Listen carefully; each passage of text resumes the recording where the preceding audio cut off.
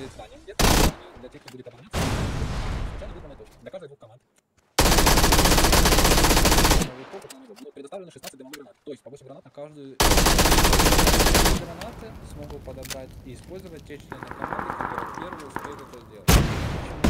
Потому что ТДС всех просто не хватит. Ну, не выдержать, даже сервер- сервера могут выдержать такую нагрузку. За одно в одном. И поэтому принято было решение чуть-чуть